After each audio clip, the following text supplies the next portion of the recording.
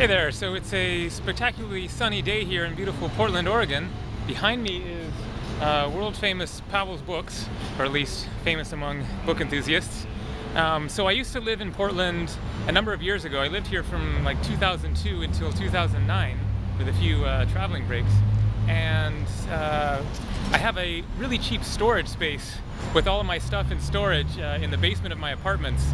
Um, so I, I stopped through here uh, to uh, get things out of my storage and put other things in there. And then I also have family and friends that live here, so uh, it's often that I um, stop through Portland on my way to and from wherever I happen to be going to.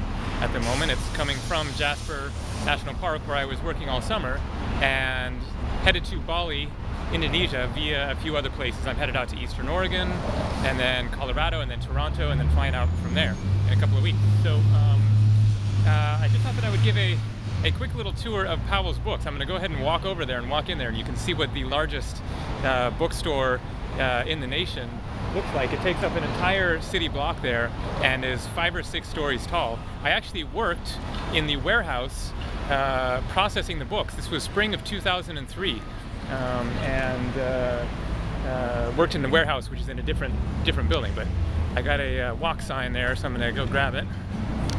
Here's a little modern art.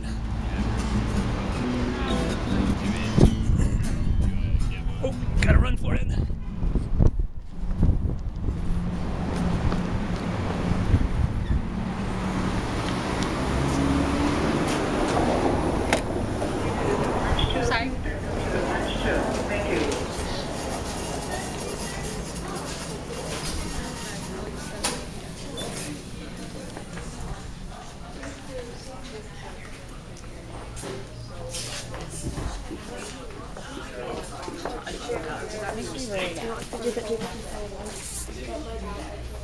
Ooh, Fear and Loathing, that's a good one.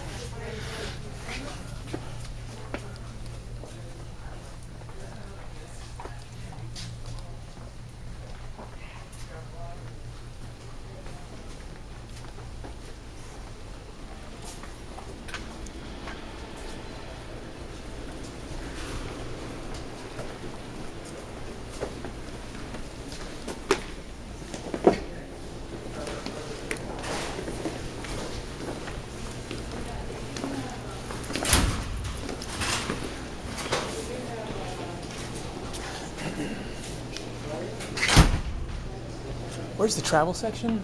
Next room on the right, sir. Thank you.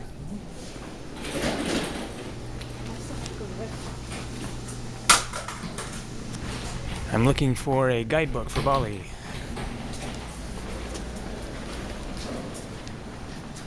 Here we go, travel books galore. Alright.